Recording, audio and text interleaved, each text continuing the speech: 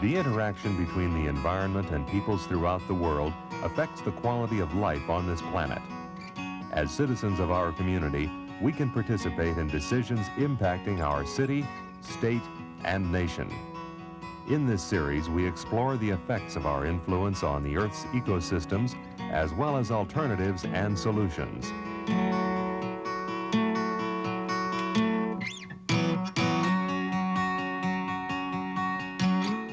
This is Eco News with your host, Nancy Pearlman.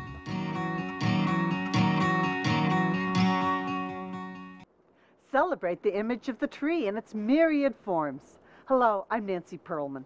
On this edition of Eco News, we visit an exhibition where artists share their paintings, sculpture, and poetry about the transforming quality of trees. Stay with us. Paintings, drawings, sculptures, ceramics, video, photography, digital media, books, and words are used in the Tree of Life exhibition at the El Camino College Art Gallery. The nurturing value of trees stands out as we are reminded that trees have provided people around the world with shelter, oxygen, fire, food, medicine, shade, and beauty. Let's see some of these inspiring portrayals of these beautiful plants. Welcome to El Camino College Art Gallery. My name is Susanna Myers, and I'm the curator for this show of the Tree of Life.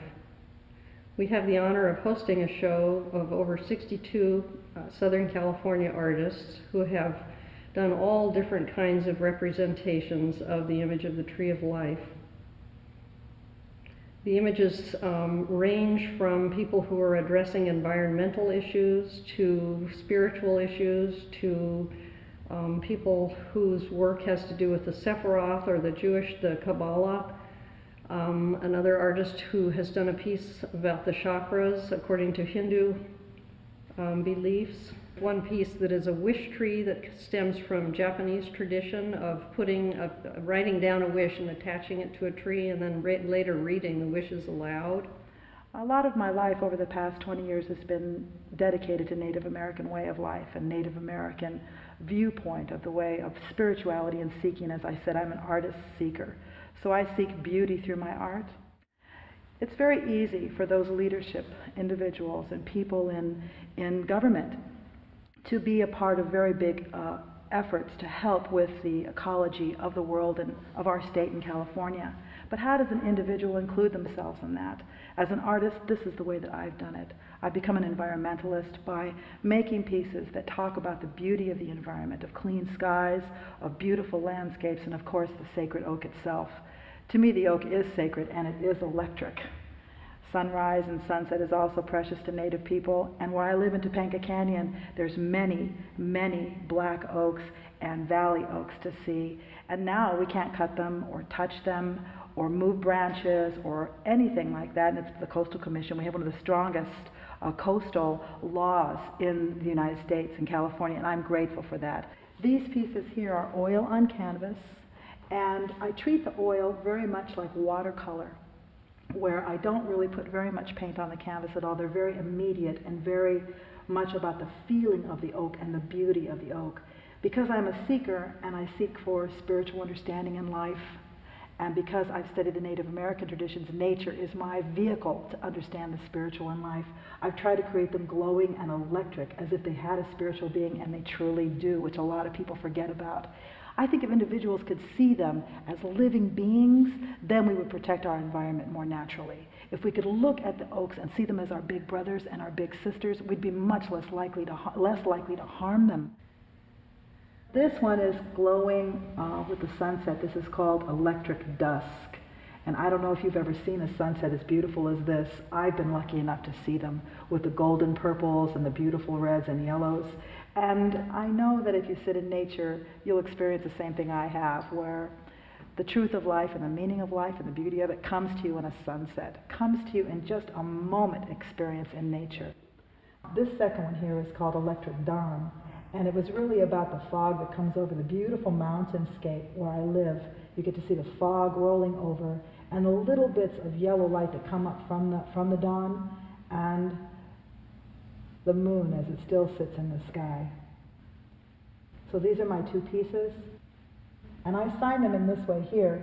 I don't know whether you can see it, but it's just a four, four directional instead of a signature as my way of saying uh, thank you to the sacred four directions, Mother Earth and Father Sky, for the beauty of the earth and the beauty of the oak.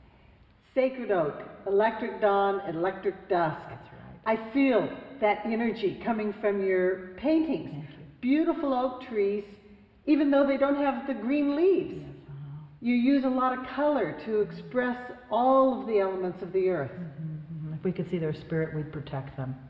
And we certainly do need to protect them because they are so endangered. They're really a symbol of life. And they're a symbol of California. They belong to our land specifically. Why would we destroy that? It's amazing. Do you find a very special tree every time you go out? Does it become your favorite? Well, you know, when I look at the oaks, I see that they each have their own personality.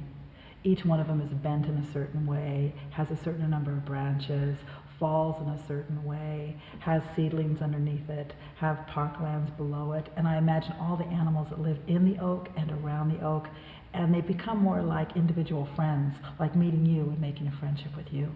And then you have to go each season. That's right. And see them at the different times of the year. and watch them change and grow.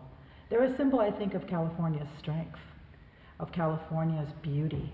And uh, they're so much a part of our ecological system. It's so important to take care of them and to honor them and to value them.